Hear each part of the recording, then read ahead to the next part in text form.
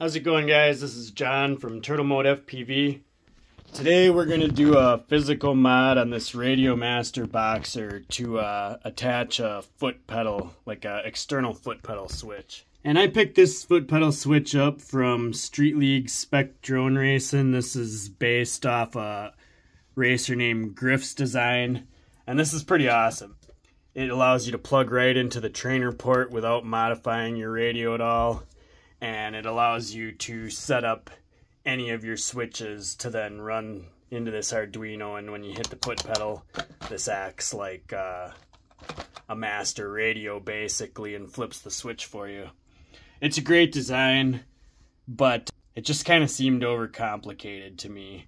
I've worked with Arduinos before and I know how to do it, or I've, I've successfully done it, but it's just not what I want to do. So I decided that I don't really use these bumper switch. I love this radio, great radio, but these bumper switches are fairly deep and uh, the hole is kind of small and it's got a stiff spring on it and I just can't use that when I'm flying without messing up my sticks.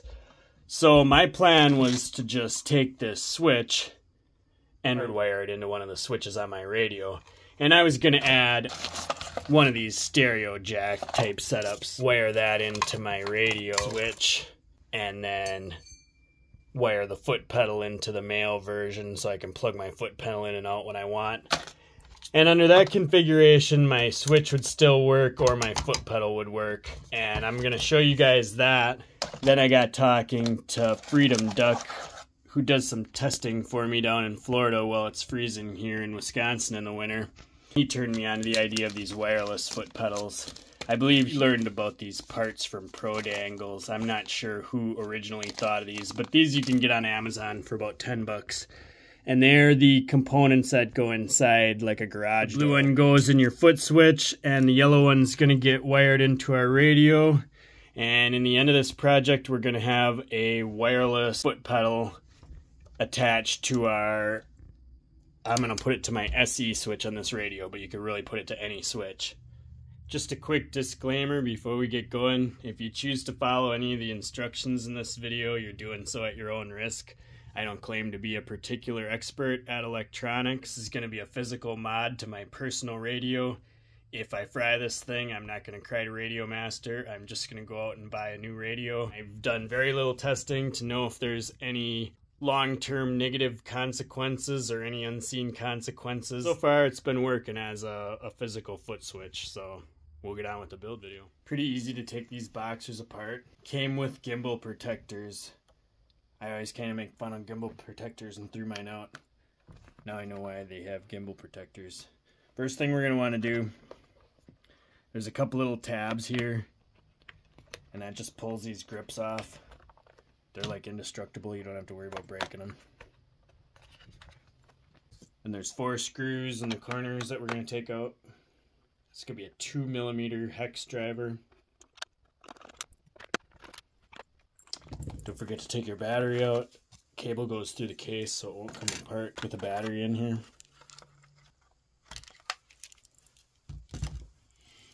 And with those four screws out, the case is just to pop off the back pretty straightforward so far. But what I want to solder to, in my case, I'm going to be adding it to this switch. And the solder pins are on the back of this board. So I need to get this whole board out. The next step is going to be taking out these Phillips screws. So we have one, two, three, four, five, six, seven, eight screws on this board. Once we get our eight screws out, then we're going to start taking these wire harnesses out. Some type of little tool is usually probably makes this easiest. So these are my two gimbals that I'm taking off right now. If you want to replace your gimbals, this would be kind of the same process. And then you just take these four screws out and pop your gimbal out. We got to take this whole main board out, so anything connected to the main board is coming off. This is our speaker wire. And we're going to disconnect these switches.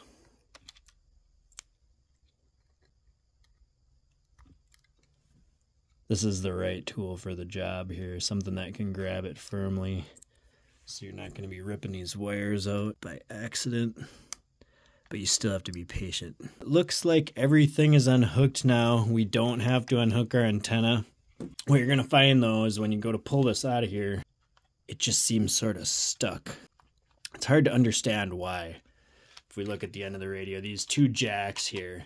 So we got our headphone jack and this trainer port jack especially sticks well through the plastic. So that's kind of the holdup. So to get this board out, we're going to pry that plastic back. And you can see see how I'm prying it back and it's moving right here. And that'll pop that off of that one port. The second part on the right hand side is going to be the tough one. Take this button off probably to make it a little easier to get. I'm just going to grab this plastic here and forcibly push that plastic outward. And then that board is just going to pop up. There we have it. Our board is out. And we're going to talk about testing a little bit and how I figured out what we're going to do with this switch. What I did was take the main board out of this radio, flip it upside down, and then hook it back up so it's still working like a boxer would any other time, but I'm able to get at some of these components to do some testing. I'm gonna put a piece of paper behind this thing, and that's just gonna help uh, make it a little bit more clear what I'm working on. This is the SE switch, and we can see down in our display here, when we push this switch in, the SE is going from an up position to a down position in our little monitor. When we take our meter over here, we could find out that when we're in our normal position, the uh, the switch is closed between what I'm gonna call white and black, and it's open between what I'm gonna call white and red. When we push this switch in. Now this one is open, and this one is closed between white and red. So it's a three-pole switch I started looking at how I could wire another three pole switch up in parallel. Normally you can't just hook these wires up directly because when you press one button or the other, it ends up energizing everything in the circuit, not just switching from one side to the other. Um, and the way to get around that is to add a relay or a physical switch so you can switch between your foot pedal circuit and your hand switch circuit. Fortunately, however, it's a lot easier because Radiomaster isn't really using this as a three position switch. Right now when the switch is out, the white and red are de-energized and our SE is pointing up.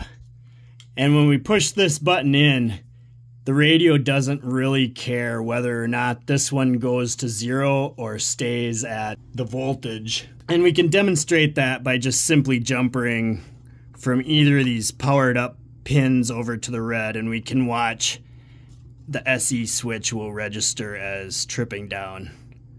See how that's working? Now I'll move to the white pin and do the same thing.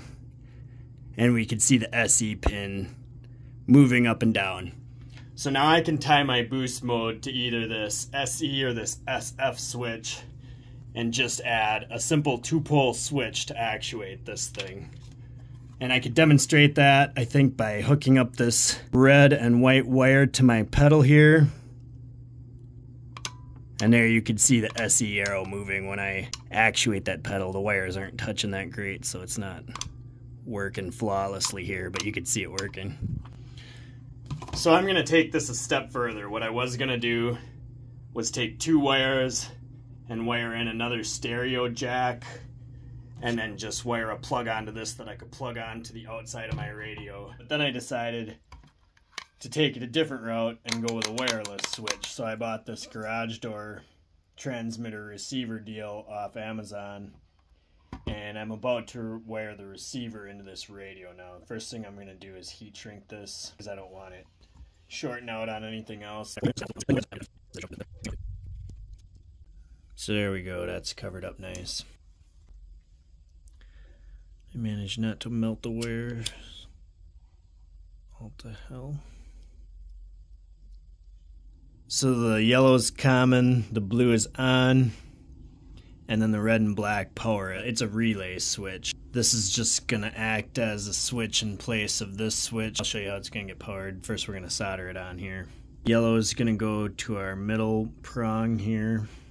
Blue is gonna go to the bottom prong. So I'm just gonna turn this so I can get at what I wanna solder most easily. And I don't know, I think I'm gonna go about like 350, 375 maybe. Looks like they put some conformal coating over these things, so I'm gonna go a little bit hotter because I'm anticipating that might not solder that great. And I'm gonna go ahead and put some of my own solder on top of here first before, like pre-tin it.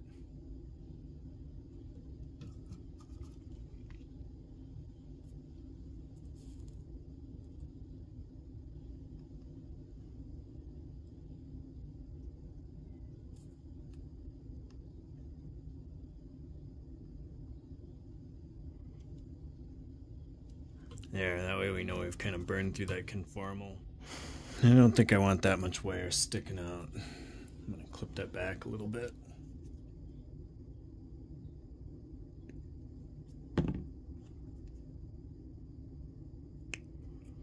These are going to be coming back, kind of anticipate that and angle them a little bit.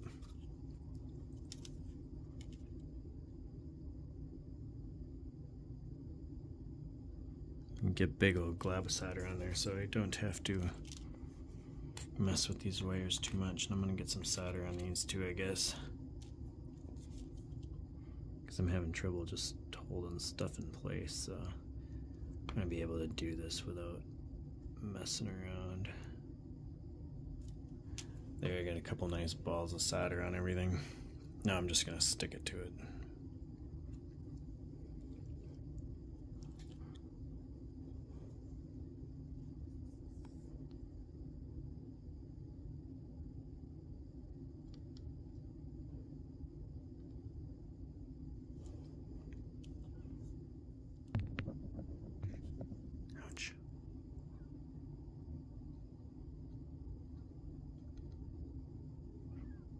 call good.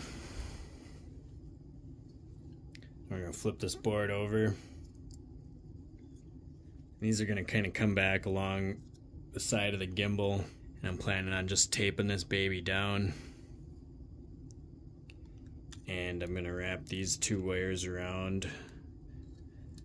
And I got a 5 volt pad on one side of this and a negative pad on the other side of this white jack here.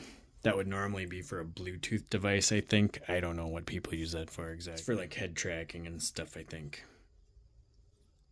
I'm going to kind of measure my wire a little bit shorter around here like such. But I'm not going to go too short because I want to make this easy enough on myself. Something like that should be fine.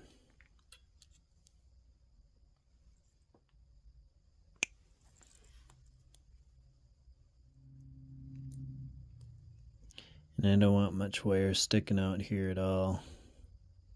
Because these are tiny solder pads, so I'm just cutting this off real short.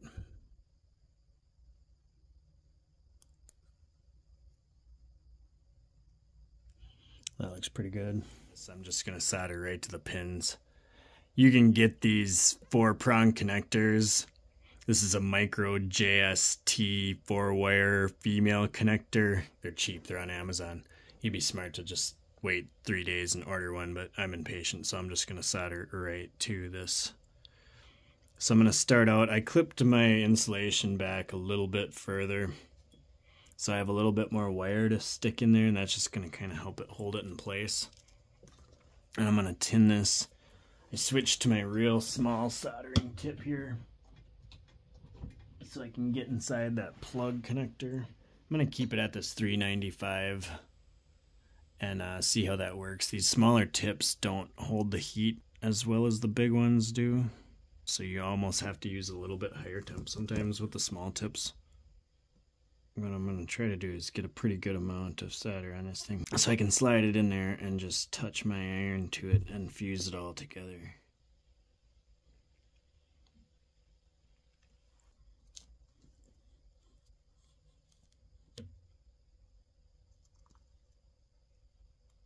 So I just heated that prong up good until the two fuse together. I'm going to do the same thing to this black wire, and then we're going to basically be done.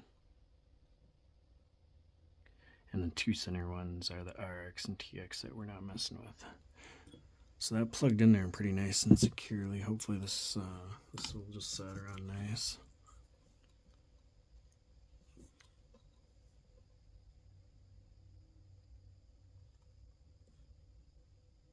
Yeah, looks like that. That probably did it. I think I'm just gonna call that good. What I'm gonna do is just gently wrap these wires around. I'm just gonna tape this baby down right there. That's where it's gonna live inside. Get my double-sided tape out here.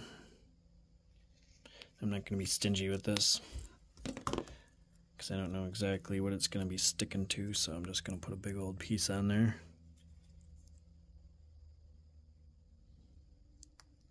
Here we go. I don't think that's gonna have a problem adhering down. With that in place, we're going to start putting this radio back together.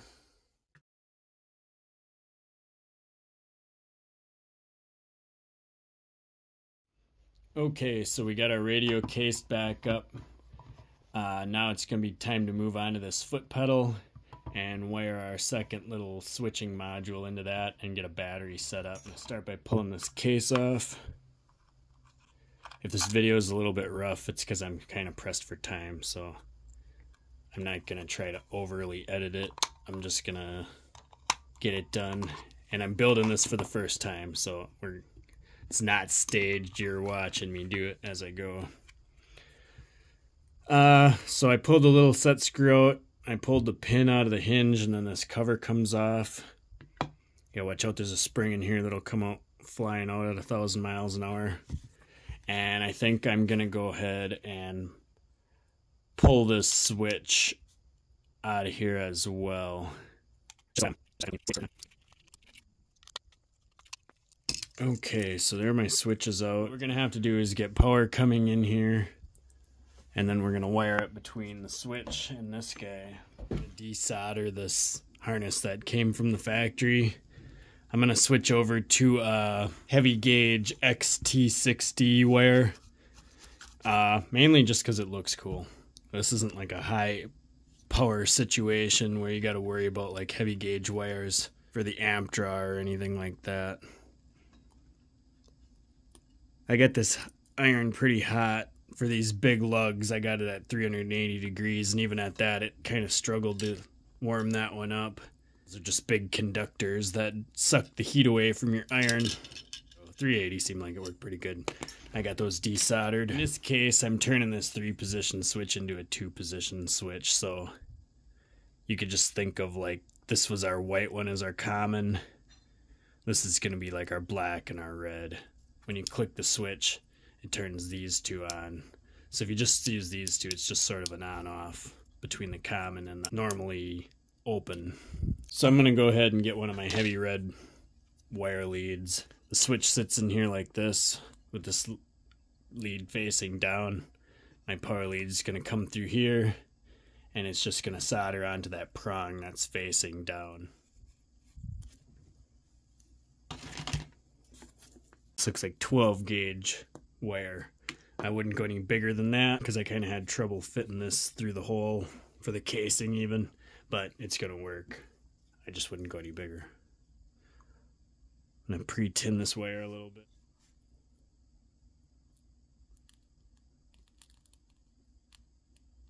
And just tuck it right in here underneath that. That's going to hold it for me good so it'll be easy to solder. Get a little flux on there to make it heat up quick.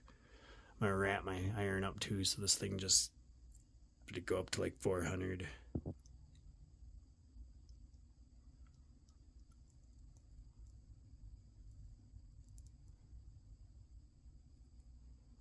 There we go, so we're soldered on there nice. Now I'm just going to bring my wire back through.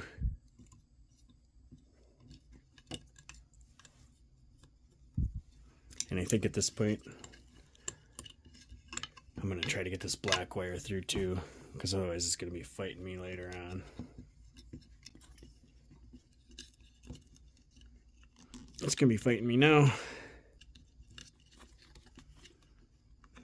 Okay, so we got our, both our wires through. Screw my switch back into its home here. This will be tedious for the camera.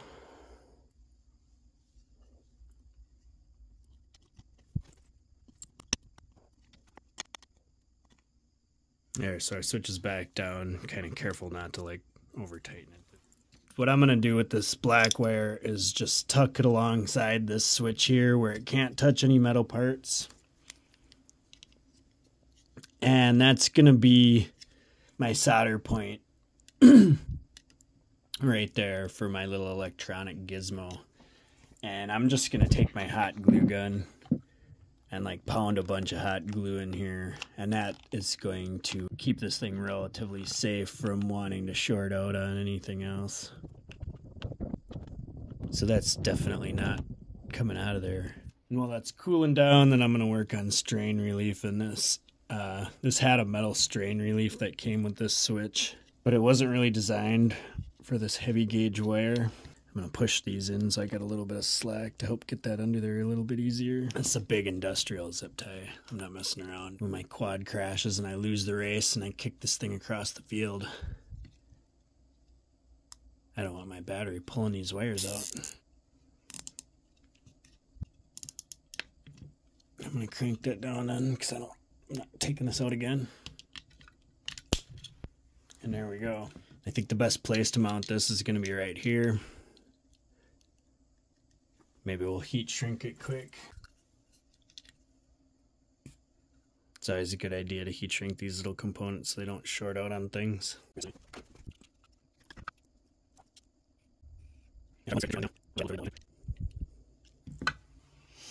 And I'm going to take some of my double-sided tape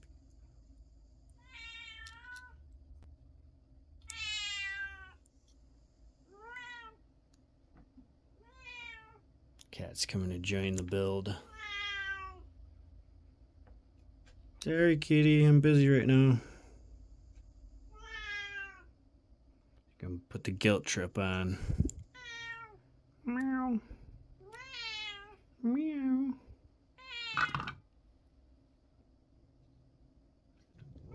Maybe I'll hit that with a little less hot glue too, just so it uh, doesn't decide it wants a new home someday.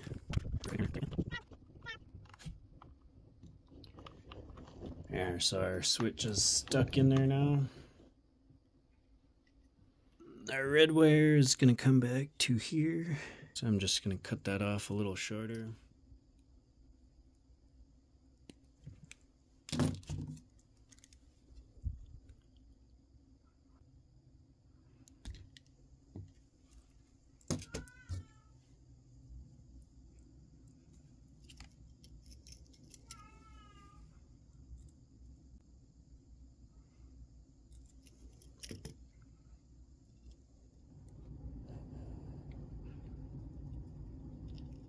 And wire here is just gonna run over across here and tie into our ground.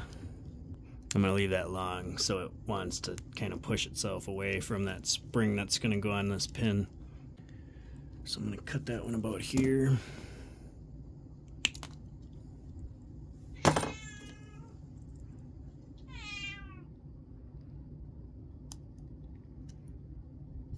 Now I'm going to get a nice big glob of solder on here. Kind of preheat that ground point at the same time.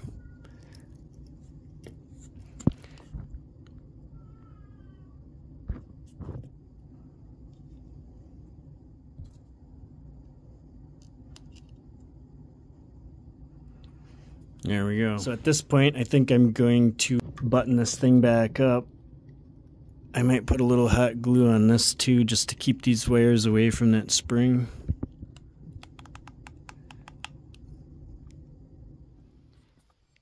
So we got everything tidied up in there and hot glued in there. I put a tiny little dab of hot glue on the end of this antenna too, so none of this stuff is going anywhere.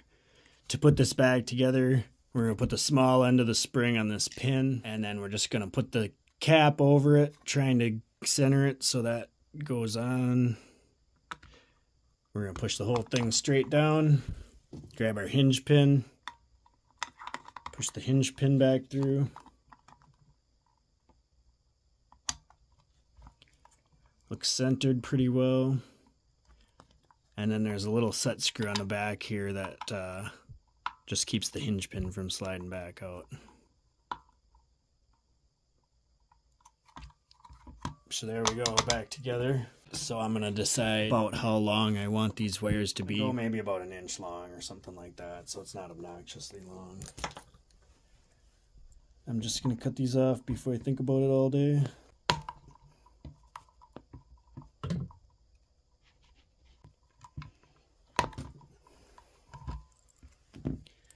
Try to cut them off about even. Got to remember to put this thing on before you solder.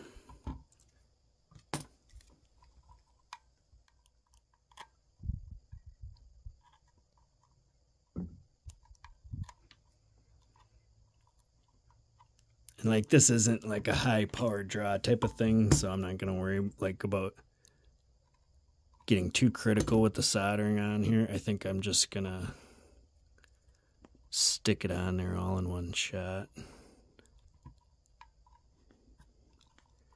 If I can get it all to stay nicely.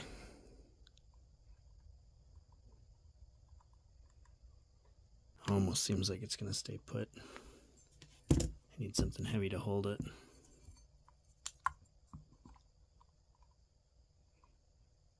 Yeah, beautiful. I'm to crank this baby way up for these just so it gets it done. 480 degrees Celsius, super hot. Get a little flux on our components here while this is heating up. When you do these big ones, it's better to have it cooking hot and do it fast because uh, you'll melt the plastic if you stay on here too long.